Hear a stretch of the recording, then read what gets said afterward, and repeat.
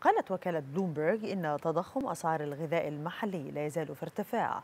وأضافت أن الناس في البلدان المنخفضة والمتوسطة الدخل تضررت بشكل خاص.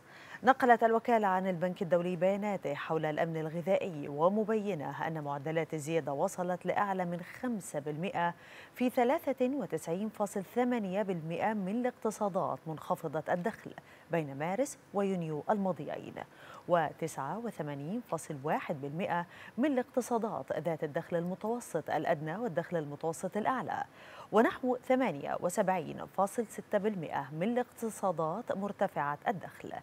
علق البنك الدولي بأن البلدان الأكثر تضررا تقع في كل من إفريقيا وأمريكا الشمالية وأمريكا الجنوبية وجنوب آسيا وآسيا الوسطى وأوروبا.